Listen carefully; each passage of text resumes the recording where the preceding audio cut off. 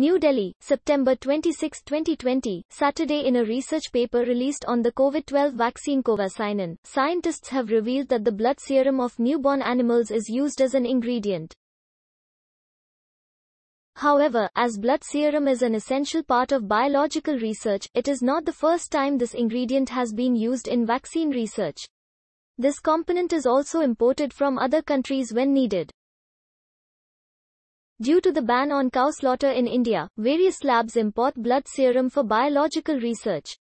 According to the Commerce Ministry, India imported kettle serum worth about 250 lakh in 2016-2017.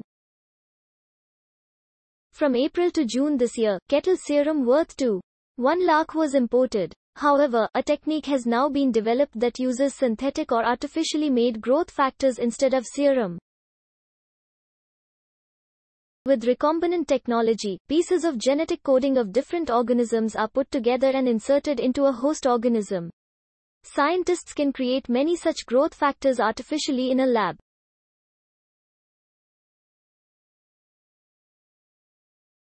According to information published in a science journal, Covaxins fall into the category of inactivated vaccines so that the body's immune system can recognize some part of the virus even though the infection cannot spread.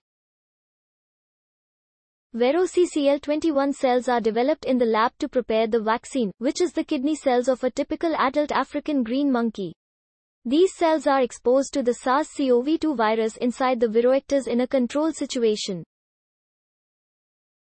The virus is removed and inactivated for about 3 hours. Inactivated viruses are mixed with some herbal remedies.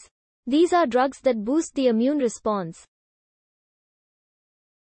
When a specific environment is created in the lab, the cells divide and take the form of specific cells.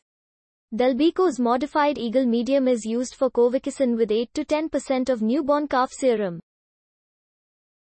This element, known as DMEM, contains essential nutrients. Scientists have used a lot of serum in cow embryos due to its high growth factor. Blood is drawn from the embryo and sent to a lab where the serum is released. For the past few years, scientists have been using serum extracted from 8 to 10 day old calves in view of the moral crisis and insanity. The only problem with this is that antibodies develop in the blood that interfere with the lab experiment. This problem can occur especially when the animal's immune system in the laboratory has to develop white cells. According to the information received, blood serum is more easily available in dairy cattle than in any other animal.